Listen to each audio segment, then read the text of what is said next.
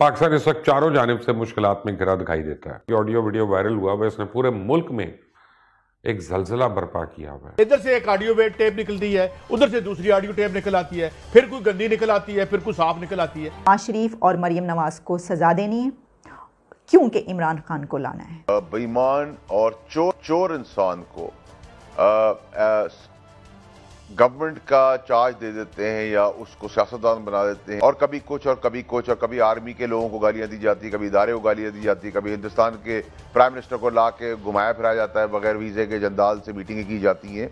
ये सब कुछ ऐसा लगता है जैसे एक रॉ का एजेंट कोई काम कर रहा है पाकिस्तान के अंदर। लेकिन के एफ़ और आई एम एफ़ पाकिस्तान पे पाबंदियाँ लगाना चाहिए पर होने वाली कॉन्फ्रेंस और वहाँ होने वाली बातों से हुकूमत इतना डर गई है कि अब इसको फंडिंग कहाँ से आई? इस सिलसिले में एफआईए को इस्तेमाल करने और स्टेट बैंक को कहा गया है कि पैसों की सोर्स का पता लगाएँ। अच्छी बात है, होना चाहिए। बल्कि मैं तो कहूँगा कि आसमा जहांगीर पर इस इवेंट के करवाने वाले मुंतजमीन को आगे आके सब कुछ खुद ही हकाइक सामने रख देनी चाहिए, कोई इशू नहीं है। लेकिन हुकूमत को भी फिर चाहिए कि पे जो फॉरेन फंडिंग केस चल रहा है, वो फंडिंग कहाँ से और किस मद में मिली, ये भी इलेक्शन कमीशन समेत मुल्क को कौम को बता देना चाहिए। ये जो मांगे तांगे के वज़ीर रोज कोई ना कोई शुदनी छोड़ देते हैं, कि उसने पीटीआई समेत पूरे मुल्क का चेहरा मस करके रख दिया हर रोज किसी को गद्दार होने का तमका बांटते फिरते हैं। हालाँकि ये खुद सबसे बड़े लोटे हैं। इतनी इतनी पार्टियाँ इन्होंने बदलनी है, शायद इतने तो गरीबों ने कपड़े नहीं बदले होते। कौन है जिसको ये मालूम नहीं कि एफएटीएफ और आईएमएफ पाकिस्तान पर पाबंदियाँ लगाना चाहते हैं? किसी से ये चीज़ ढकी चुपी नहीं है कि पाकिस्तान के खिलाफ दाखिली और खारजी सतह पर साजिशें हो रही हैं। चंद रोज़ पहले अमरीका ने मजहबी और इंसानी हकूक़ की खिलाफ वर्जियों के मरतक ममालिक की नई फहरिस्त जारी कर दी है।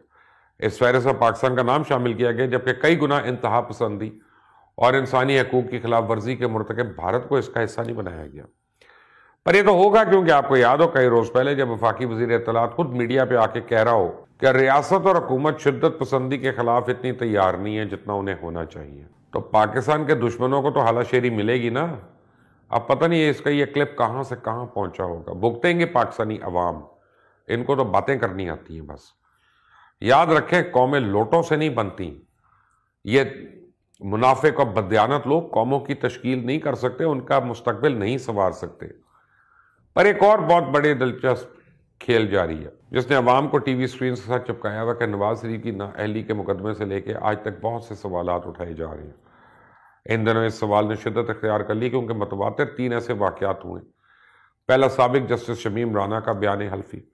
फिर आसमा जहांगीर कॉन्फ्रेंस में खुलकर मुल्क के नामवर लोगों की जानब से इस बात का इजहार कि पाकिस्तान में इंसाफ नहीं होता। फिर कल रात से जो जनाब साकिब निसार साहब की ऑडियो वीडियो वायरल हुआ, वह इसने पूरे मुल्क में एक जलजिला बर्पा किया हुआ है। इसे हटकर के ये ऑडियो सही है, ये गलत सच ये है कि पाकिस्तान में तो कुछ भी मुमकिन है। यहाँ सियाह को सफ़ेद और सफ़ेद को सियाह कहा जा सकता है।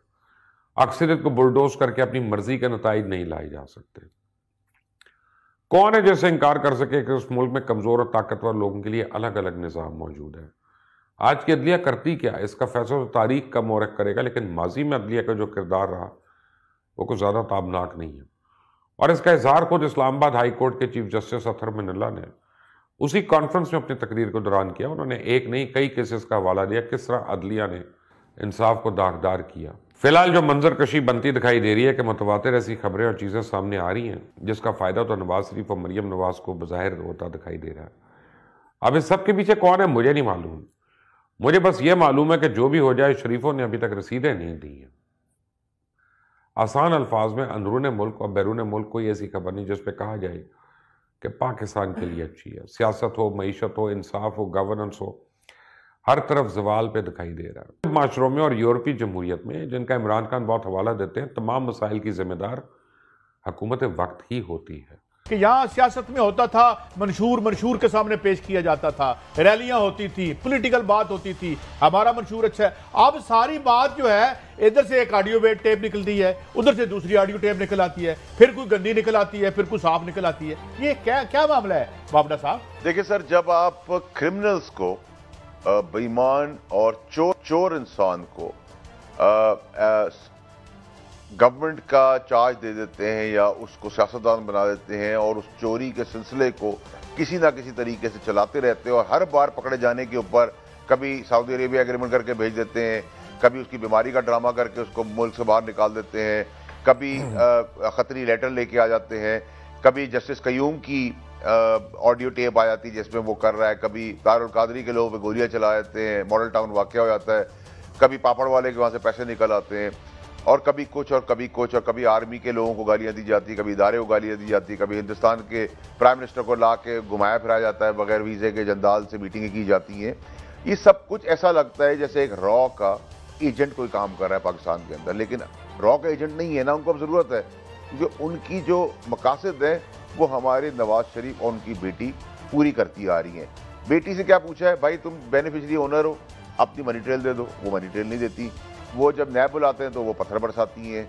जब आप कोर्ट में जाते हैं तो वो डेट्स मांगती है। डेटें खत्म हो जाती है तो एक ऑडियो टेप आ जाती है। फिर कभी आपको अकल कोई वीडियो टेप आ जाएगी, फिर कोई ऑडियो आ जाएगी। ये इदारों को लड़ाने का जो ताल्लुक है, ये मुल्क की फाउंडेशन को हिलाने के मुतारजी है। पाकिस्तान में किसी भी चीज़ की कमी हो, गैस की कमी हो बिजली की शॉर्टेज हो, पानी की शॉर्टेज हो, गैस की शॉर्टेज हो फ़ूड का कुछ भी हो। लेकिन अगर किसी चीज़ की कमी नहीं है, अगर कोई चीज़ कम नहीं है तो वो हैं वीडियोस और ऑडियोज़ और वो वाली वीडियोस और ऑडियोज़ जो कि लीक हुआ कर आप सोच रहे होंगे, अब किसी की वीडियो सामने आ गई। तो मैं आपको ये बताना चाहती हूँ कि वीडियो नहीं ऑडियो सामने आई है। लेकिन ये जो ऑडियो है ना, ये वीडियो से भी ज़्यादा इंपॉर्टेंट और बड़ी चीज़ है। इसकी वजह यह है कि ये audio former chief justice of Pakistan justice Saqib Nisar की है।